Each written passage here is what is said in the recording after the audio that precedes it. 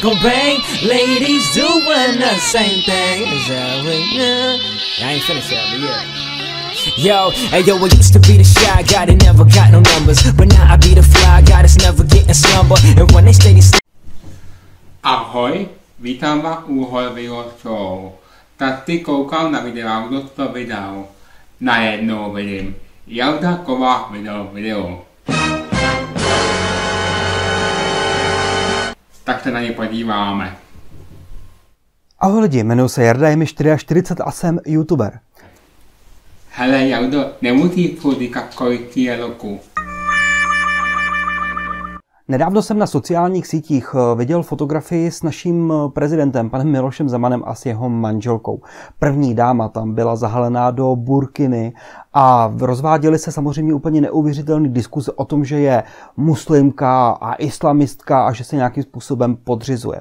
Já osobně si myslím něco úplně jiného. Každopádně hned na začátek tohoto videa chci oznámit jednu důležitou věc. Tohle video nemá žádnou souvislost s nadcházejícími prezidentskými volbami, tedy s tím druhým kolem, které nás čeká o víkendu. A e, samozřejmě, e, prosím, neberte to nijak pohromadě. Jenom se spíš chci vyjádřit k tomu, co se děje teď kolem té fotografie a diskuze kolem toho. Ta diskuze, která se spustila na sociálních sítích e, právě kolem naší první dámy, vedla k tomu, jestli měla nebo neměla mít burkinu. A ta diskuze prostě kolem toho byla úplně šílená. A já bych se samozřejmě k tomu, tomu rád vyjádřil. Ale samozřejmě, než se k tomu, tomu tématu dostanu, tak je velmi důležité se vrátit o krok zpátky. E, to znamená k imigrantům, protože nebýt teď ty diskuze kolem imigrantů, tak je pravdou, že ta Burkina by se patrně vůbec neřešila. Nicméně, e, co nám tedy v uvozovkách, nám jako národu, většině lidí na těch imigrantech vadí, e, to je většinou to, a ty diskuze se vedou o tom, že oni se nechtějí podřídit naší společnosti. To znamená, že nechtějí se chovat jako my, nechtějí se oblíkat jako my, nechtějí jíst jako my a to je přece špatně, protože pokud chtějí žít u nás v České republice, tak by se přece měli umět podřídit eh, tomu našemu životnímu stylu a ten životní styl by měli přijmout. No, chtějí tady být, chtěli, chtějí tady žít, no tak přece musí žít tak, jak žijeme my. No jo, ale co my jako národ, teď mluvím tedy o nás jako o Česku nebo České republice, je vrcholem pokrytectví kázat vodu a pít víno. To znamená, je vrcholem pokrytectví chtít od imigrantů to, aby když k nám vstoupí, tak aby se oblíkali jako my. Ale na druhou stranu, pokud my vstoupíme do nějaké například arabské země, tak nějakým způsobem zase jako odmítat a nepřijímat to jejich oblíkání. To znamená, přece jsem na dovolené a když jedu třeba eh, do hlavního města prostě Tunisu, tak přece jsem turista a jako turista si přece můžu jako turista chodit. To znamená, eh, očekává se prostě, že můžu chodit v kraťasech a očekává se, že holčiny prostě budou chodit v nějakých minisukínkách, nejlépe prostě v nějakých bikinkách, prostě vyzývavých.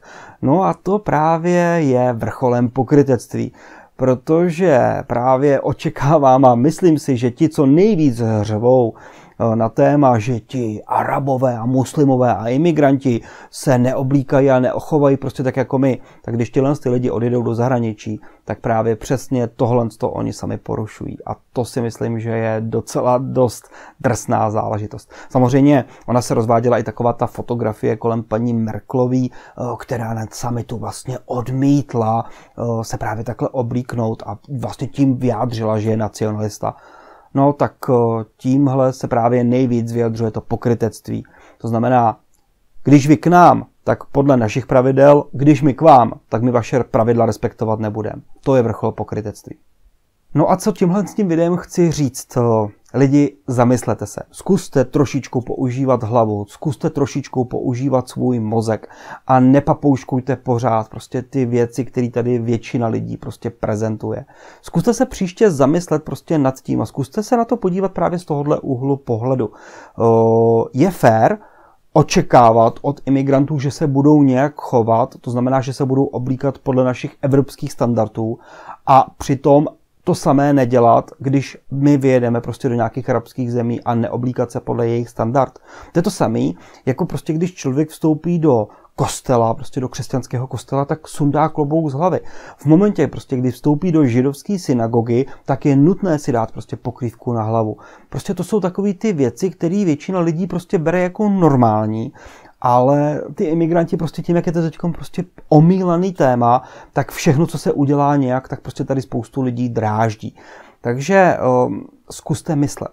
Zkuste se zamyslet a než příště zase napíšete nějaký prostě stupidní komentář právě pod podobné fotky, tak um, popřemýšlejte nad tím, jak to je ve skutečnosti, protože oni ty souvislosti jsou někdy opravdu jako dost důležitý a lidi, sorry, ale děláte ze sebe pitomce. Byl bych tedy moc rád, kdybyste vyjádřili váš názor k tomuhle videu a právě k tomu tématu, který jsem tady řešil. Myslíte si, že je většina Čechů pokrytcem, že se pokrytecky chovají, to znamená, že od imigrantů něco očekávají, ale když oni sami jedou někam na dovolenou, tak tyhle ty věci prostě vůbec nerespektují. Co si o tom myslíte vy? Napište mi váš názor do komentářů. Jalta Kovát a jeho nádory, to na retaurované, vůbec mu nevadí, de hájí muslimské teroristy. De námi neměla být zahalená ani na těle komise. Pokud nějaká denská jede do její země, tak by se neměla zahalovat. Jaldako, jaldáte, jaldáte snadí hájí muslimy. Tolik se jednotane obětí její útoku. Co slova nebezpečí, kde bude mluvit každý blb. Jelda má moc velké ego. To, ano, Jelda má právo projevit svůj nádor. Na to nemá právo každý. Ano, máme svobodu, ale ty nádory musíme říkat slušné, bez nadávek. On, já jsem u SPD, Ono lidí o nás říká, jsme rasisty. To ale není pravda. Nám jde, hlavně o bezpečí České republiky. Nám jde o bezpečí naší země. Tohle není rasismus. To, tohle je bezpečnost státu. Bezpečnost státu je na prvním místě. Jardo, děkuji ti za inspiraci na mé video. Předem děkuji za video odpověď. Jestli se vám dneska mé video líbilo, tak mi pod tím dejte like, objel nebo koment. Ahoj!